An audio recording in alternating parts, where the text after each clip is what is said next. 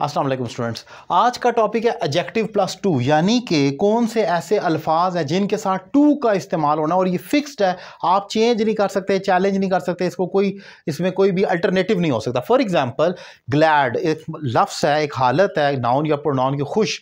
I am glad अब उसके साथ भी हमेशा टू आना I am glad to hear this news मुझे ये खबर सुनकर बड़ी खुशी हुई या मैं खुश हूँ, ये खबर सुनकर तो glad to know glad to see I am glad to see you over here तुम्हें यहाँ देख कर मुझे खुशी हुई। फिर सरप्राइज़ टू भी कहा जाता है, हैरान होना। I am surprise to know about your failure मुझे आपके फेलियर के बारे में सुनकर बड़ी हैरानगी हुई है या हूँ।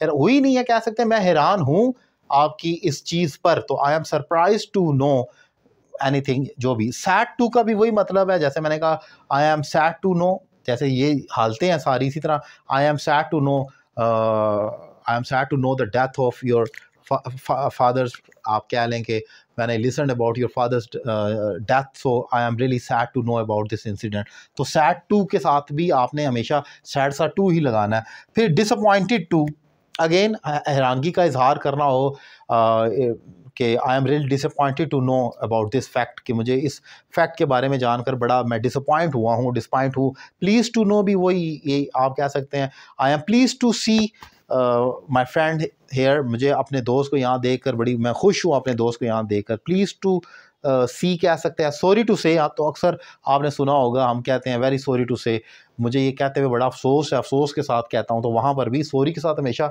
टू ही आता है। अमेज टू भी हैरानगी का इजहार करने के लिए आप इस्तेमाल करते हैं। बाउंड टू जब आप लाइबल होते हैं किसी चीज़ के, आप आपको उसको फॉलो करना ही है। आप उस रूल से बाहर नहीं जा सकते। So you are bound to follow the traffic rules आपको ट्रैफ़िक रूल को फॉलो करना ही करना है. Basically you are bound to यानी कि आप बाउंड हैं इस चीज़ के लिए. तो वहाँ पर बाउंड टू का आप इस्तेमाल करते हैं. सो ये वो एजेक्टिव हैं, ये हालतें हैं. सारी ये वर्ब नहीं है, ये एजेक्टिव है. ये सरप्राइज़ भी पास पार्टिसिपल एजेक्टिव है. डिसअपॉइंटेड भी प्लीज्ड भी अमेज्ड भी, ये आप वर्ब मत समझें, ये सारे एजेक्टिव हैं और ये हालतों का इजहार कर रहे हैं और उनके साथ हमेशा टू की प्रपोजिशन ही आती है और ये फिक्स्ड है।